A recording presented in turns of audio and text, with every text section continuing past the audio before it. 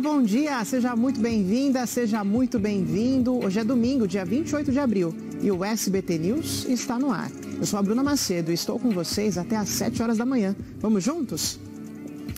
A gente começa com uma tentativa de feminicídio em Taboão da Serra, na Grande São Paulo. A vítima é uma mulher de 54 anos. E o SBT News na TV fica por aqui.